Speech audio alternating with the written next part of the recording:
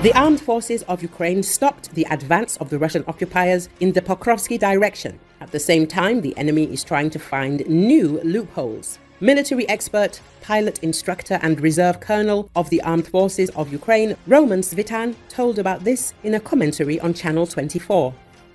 In particular, he recalled that the 15th Brigade of the National Guard, Kara Dag, was transferred to the Pokrovsky area earlier, and the fighters did a good job there.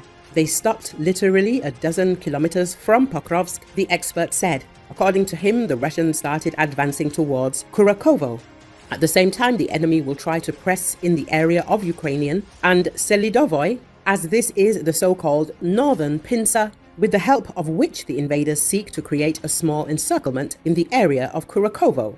According to Svitan, this Russian claw can be cut off by simply destroying it with the help of artillery. In addition, artillery can work quite well there from the side of Vugledar and Kurakovoy. In general, there are enough mechanisms for this, the main thing is that there are forces and means. At the same time, the main task now is to knock out enough weapons and equipment, especially ammunition, from our partners, specifically for this direction. But the direction to Crimea is the most promising, and in this context, the Kursk operation is very interesting. Syrskyi is changing the architecture of the front. The expert emphasized. In his opinion, the commander in chief of the armed forces of Ukraine is deploying the front from the Azov and Black Seas towards Moscow into the Russian heart of decision making. Earlier, the commander in chief of the armed forces, Alexander Syrskyi, reported that the armed forces managed to stop the advance of Russian troops in the Pokrovsky direction. According to him, over the past six days, the enemy has not advanced even a meter in the Pokrovsky direction. Pokrovsk is a very strategic city which is a logistical hub, an industrial powerhouse, and is considered the gateway between eastern and central Ukraine. If the city falls, Ukraine not just loses supply lines in the entire region, but Russian forces acquire a launch pad for mounting assaults deeper in Ukraine and controlling other strategic cities.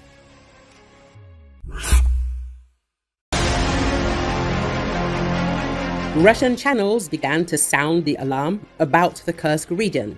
The resource VDV for Honesty and Justice, associated with the Russian armed forces, wrote about the advancement of the Ukrainian armed forces and the encirclement of Russian forces. Bad news is coming from the Kursk front. The enemy continues to expand its zone of control in the Kursk region. Some of our units have been surrounded, wrote Z Channel.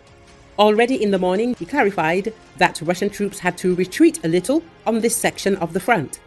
It is currently unknown where exactly the Ukrainian armed forces have advanced in the Kursk region. According to the latest data, the defense forces control about 1.3 thousand square kilometers of Russian territory. The Russian armed forces are having big problems in the Glushkovsky district on the northern flank. There, an area of approximately 700 square kilometers has been operationally encircled after the Ukrainians destroyed the bridges across the Seym River. Despite this, the military command of the Russian armed forces is not giving the order to withdraw forces from the fire pocket. After three weeks of fighting, Russia is still struggling to dislodge Ukrainian forces from the Kursk region, a surprisingly slow and low key response to the first occupation of its territory since World War II. It all comes down to Russian manpower and Russian priorities. With the bulk of its military pressing offensives inside Ukraine, the Kremlin appears to lack enough reserves for now to drive out Kiev's forces. President Vladimir Putin doesn't seem to view the attack, or at least give the impression that he views it, as a grave enough threat to warrant pulling troops from eastern Ukraine's Donbas region, his priority target. Putin's focus is on the collapse of the Ukrainian state which he believes will automatically render any territorial control irrelevant, wrote Tatiana Stanovaya, senior fellow at the Carnegie Russia Eurasia Center. Russia is very keen on continuing the attacks toward Pokrovsk and not taking resources away from Pokrovsk to Kursk, said Nico Lange, senior fellow at the Washington based Center for European Policy Analysis, Unlike Pokrovsk, where Ukrainian forces have built extensive fortifications, other parts of Donetsk still under Ukrainian control are less protected and could be significantly more vulnerable to the Russian onslaught if Pokrovsk falls.